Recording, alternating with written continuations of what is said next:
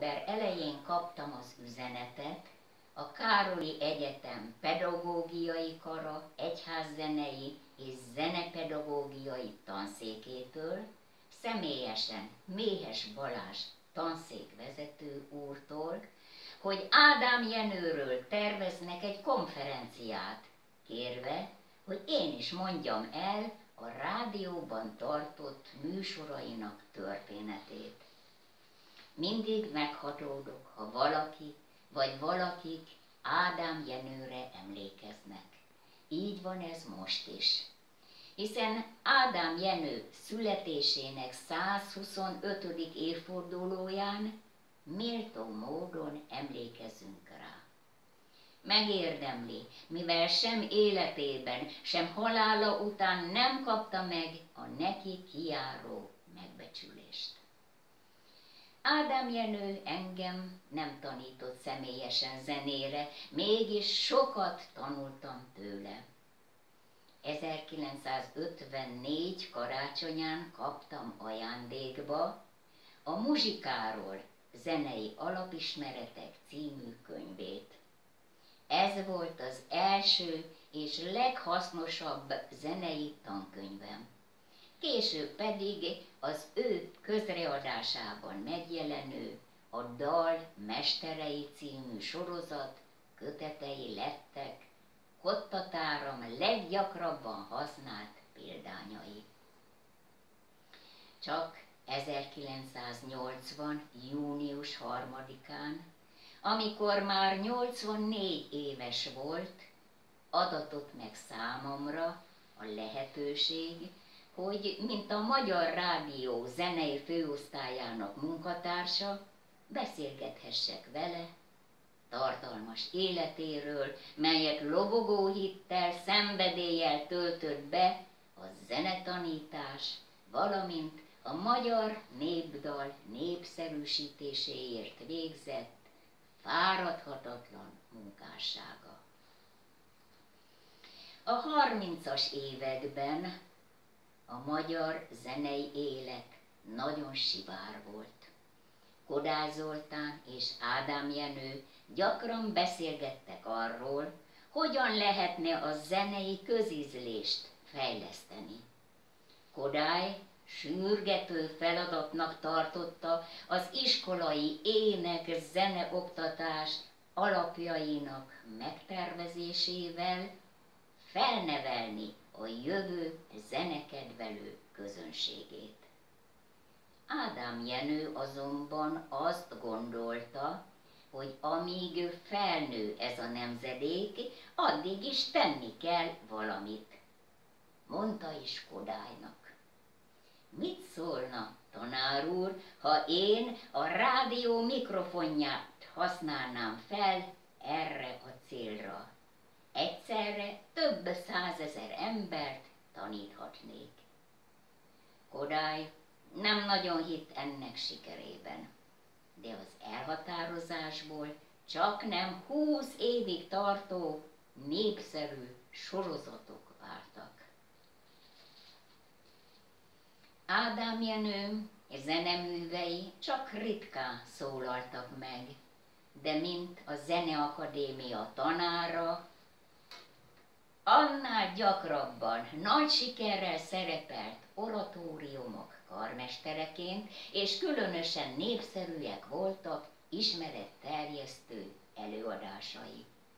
Az 1941-es e- év első felében tíz előadásból álló sorozat hangzott el a rádióban, a skálától a szimfóniáig címmel az ismeretterjesztő műsorra az akkori műsorújság, a rádió élet is felhívta a figyelmet.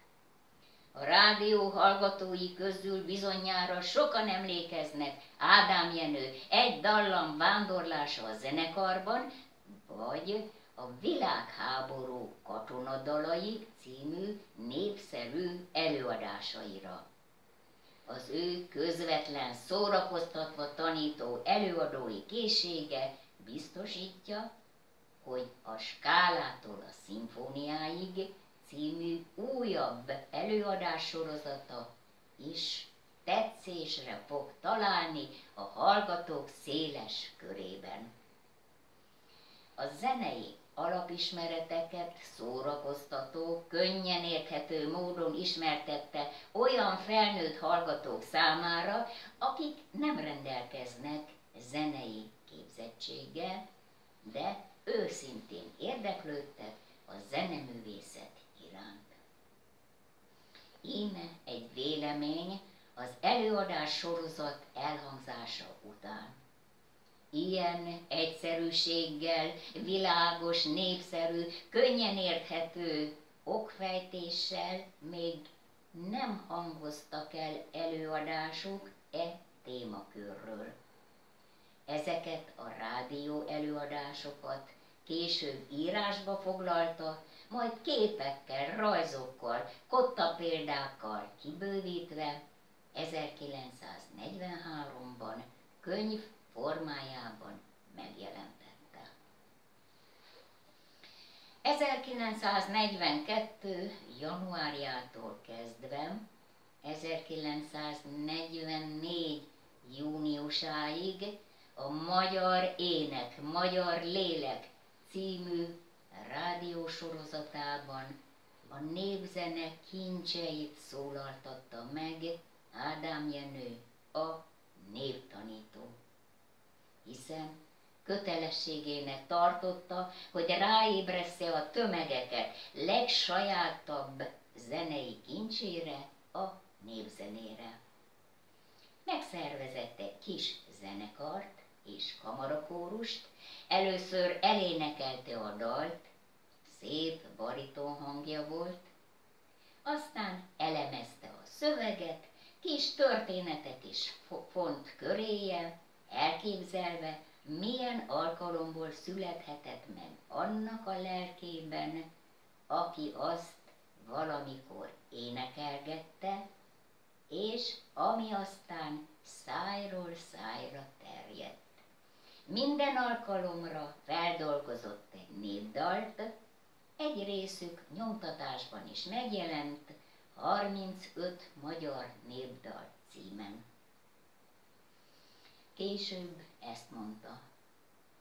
Utólag bevallom, én bizony szándékosan szegültem szembe a közfelfogással, amely 1939 40 táján alig sejtette a körülöttünk settenkedő veszedelmet. Úgy gondoltam, a daltanítás, védőoltás, szellemi honvédelem. 1944 májusában, amikor éppen a tavaszi szép időnek kezdetű dallal biztatgattam a gyengélkedő közhangulatot, leplezett szándékomat a német lektor észrevette, és letiltottak. Hanem szörnyű árombár, az a tavasz mégiscsak eljött, és megadatott, hogy elduldolhattuk a dalt, felsütött a nap sugára. 1944-ben Kodály Zoltán felszólította Ádám Jenőt, hogy dolgozza ki a módszeres énektanítást a relatív szolmizáció alapján. Gajatetőn hat hét alatt megszületett a módszer részletes kidolgozása, és elkészült a máig is alapvető fontosságú könyv, melynek elején Kodály Zoltán írta az útravalót. Ime egy részlete. Ennek a módszernek részletes, gyakorlati leírását kapja itt az olvasó.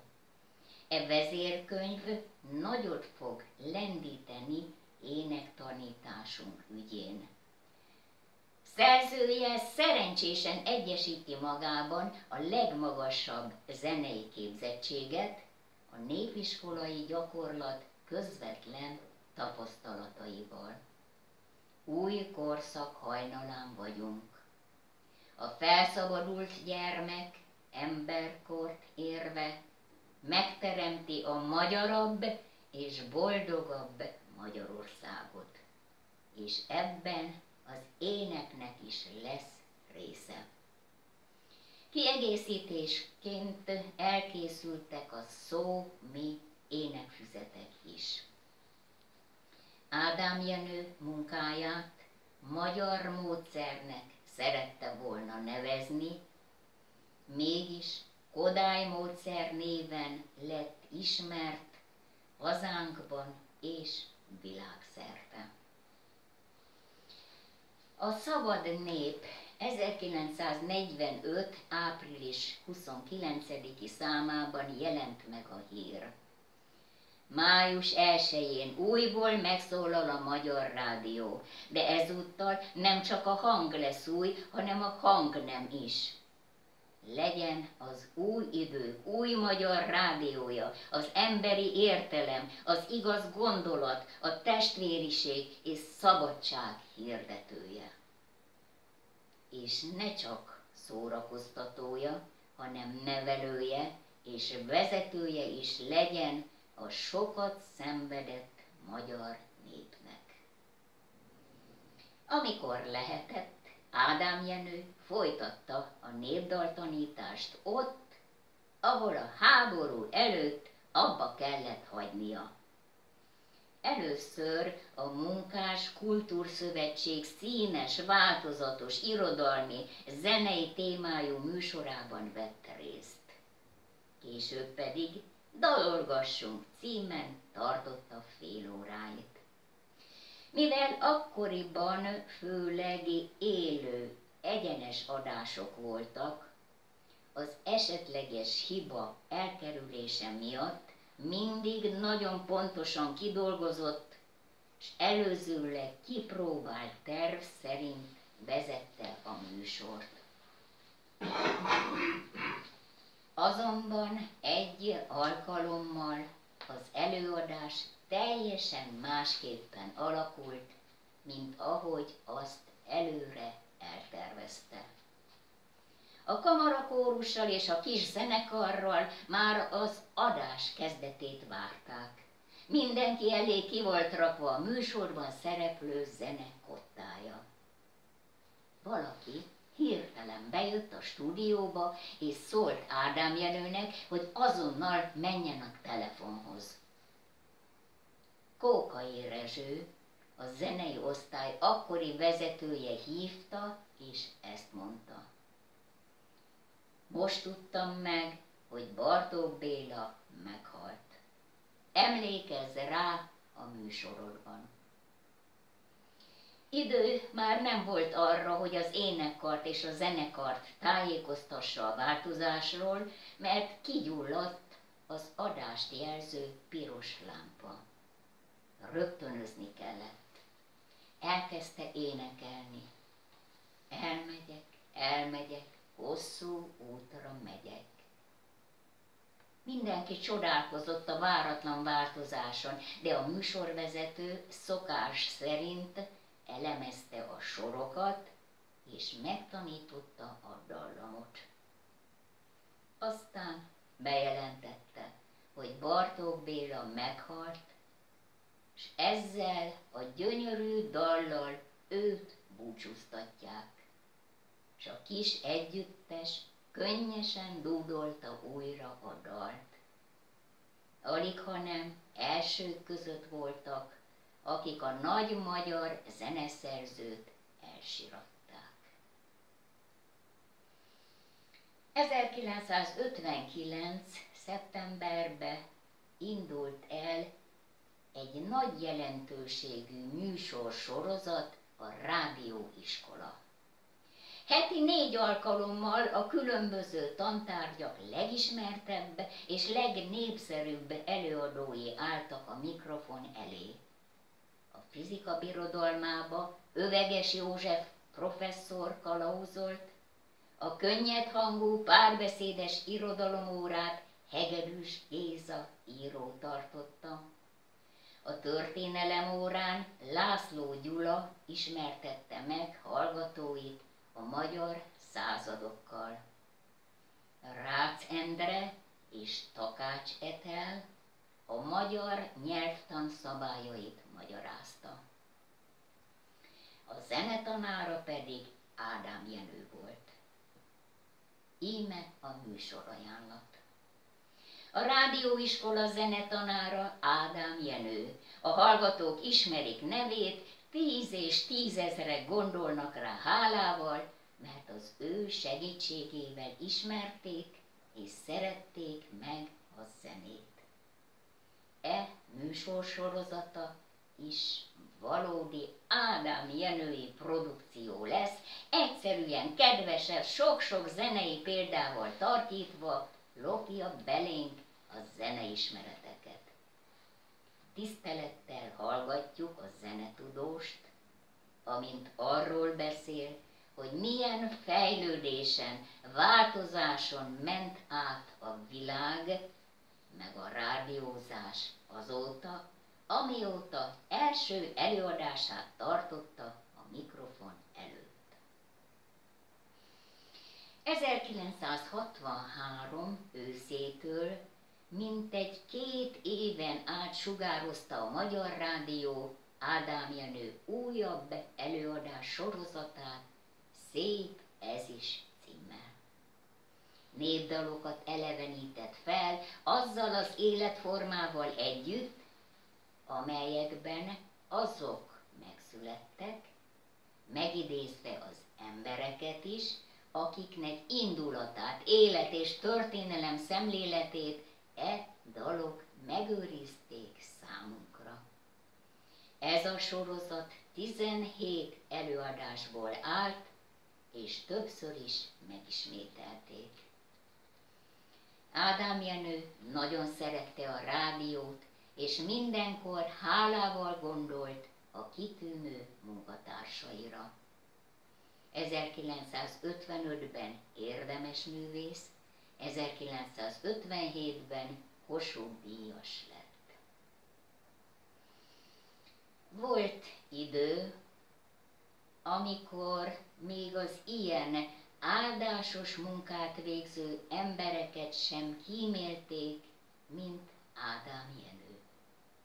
1959-ben kényszerűen nyugdíjba helyezték, ahogy ő mondta, ereje teljében. Lelkének lobogása, tanítási szenvedélye azonban nem csökkent. A rádióban folytatta a csak nem húsz évvel ezelőtt korábban elkezdett előadásait, sőt, volt ereje, bátorsága ahhoz is, hogy az akkoriban hőskorát élő televízióban, az ismeretlen új közegben is meghonosítsa a zenei ismeretterjesztést. Egy kritikus így írt Ádám Jenőről. Akik egyszer is hallották Ádám Jenő előadását, meggyőződhettek közvetlenségéről, megkapó lírájáról, láttató erejéről, a népdalról, a dallamok születéséről, régi korok muzsikálásáról, kevesen tudnak olyan szuggesztivitással beszélni, mint ő a rádióban, a pódiumon és a televízió kamerái előtt egyaránt.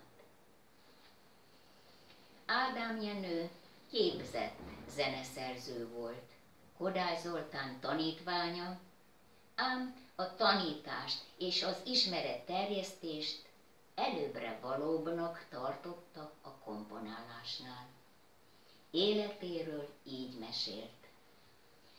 Ha visszagondolok az életemre, úgy érzem, hogy egy feszes húr volt kifeszítve, amit úgy hívnak, hogy pedagógia, tanítás.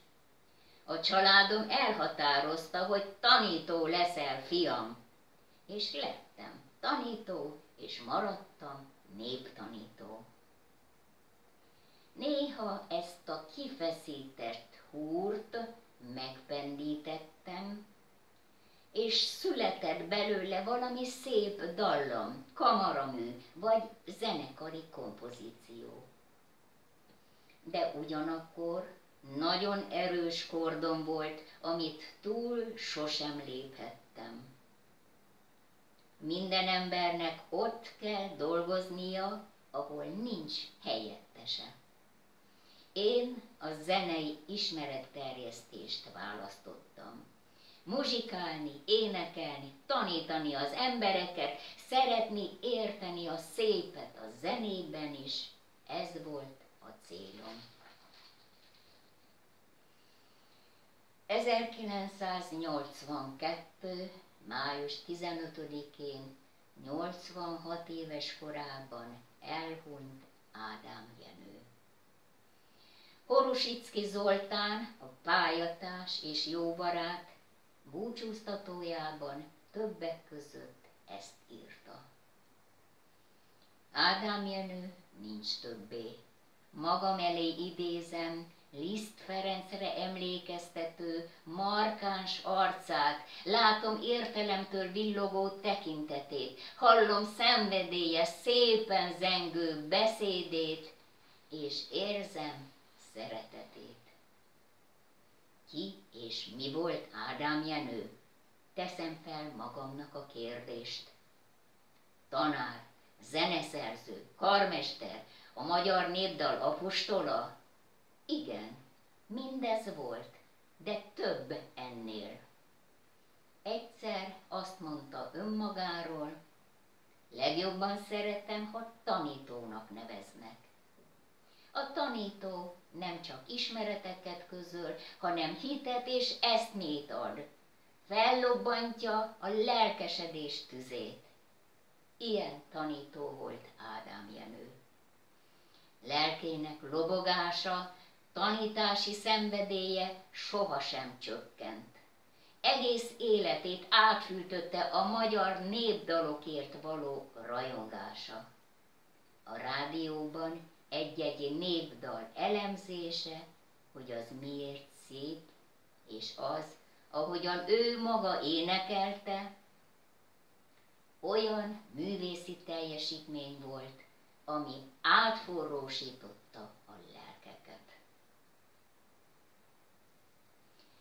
Szokolai Sándor, zeneszerző is rajongott érte. Így fogalmazott.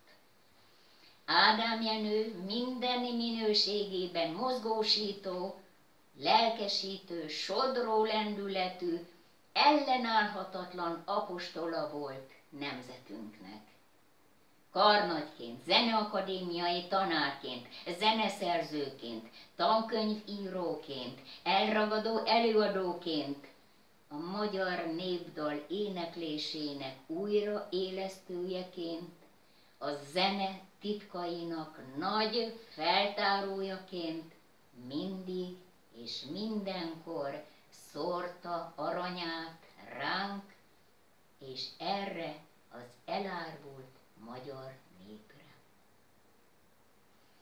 1990. november 28-án különleges 37 részes sorozat kezdődött a Kossuth Rádióban. Életem meséje címmel Ádám Jenő az 1982-ben 86 éves korában elhunyt zeneszerző és tanár történeteit hallgathattuk meg. A kérdésre, hogy miért csak egy évtized késéssel arra Boros Attila, a műsor szerkesztője így válaszolt. Most jött el az ideje. Ádám Jenő életének eseményeit néhány évvel halála előtt otthonában Magnóra rögzítette. Tanítványai, örökösei adták át nekem ezt az anyagot 1986-ban. Akkor azonban egyes részletei miatt szó sem lehetett volna a közléséről. most jött el az ideje, hogy gondolatait, küzdelmeinek hiteles történetét megismerhessük.